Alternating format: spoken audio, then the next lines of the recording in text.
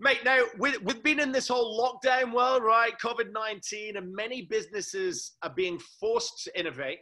And I say that because, you know, innovation and creativity is something ideally you do regularly. Because if you wait until your back's up against the wall where you have to do it, you might mess up. There's so many reasons why you want to be creating and innovating anyway. But many businesses have been forced to innovate. So, what can they do to make sure that whatever innovation or creativity they're coming up during this time is going to be of value and works when they implement it?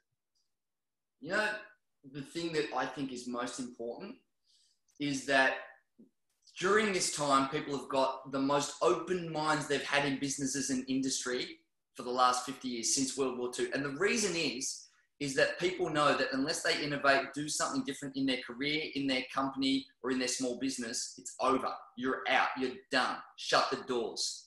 Mm-hmm.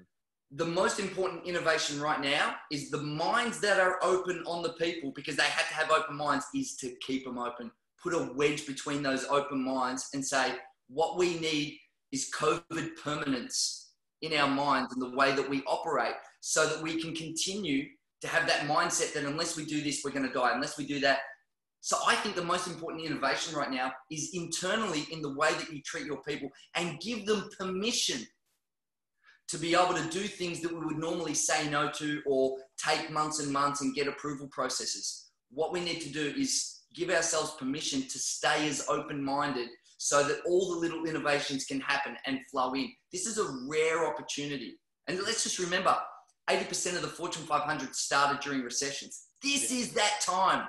Yeah. So the most important innovation right now, I think in COVID and post-COVID, is keeping the minds open the way that they are. Because yeah, never like before are people open to going, how can I add more value? They're yeah, like, people are saying, how can I, because I have to add more value or I'm out. Yeah. Like, we have to keep that as a mindset in our economy and our companies. Yeah. And it's true because you know, as a, when I said the position, the question, some people will wait till there's a crisis or a challenge, and then they'll react. It's yep. interesting, curious fact that reactivity and creativity are exactly the same letters, and they have with oh, two, two move them around, and they have a complete different meaning. Yeah. All right. right. That'll be in my blog tomorrow. I'll be like, hey, you didn't know reactivity and creativity, same letters. Yeah, and, and, and the problem is, is that a lot of people, when they're being creative, they literally wait until they are their backs up against the wall. They're in Christ. I got a couple of beautiful stories I talked to in this from my tour days, like of yeah. guides that have been creative because they had to and it worked really well, but then guides that did and it screwed up and blew up in their face. But because they waited until their back was against the wall, now it's reactivity, not creativity. And that is exactly your point. It's the, but the crisis or the challenge, what you're saying is it opens it up for us, but now be conscious of that and keep it open, which I love. I love.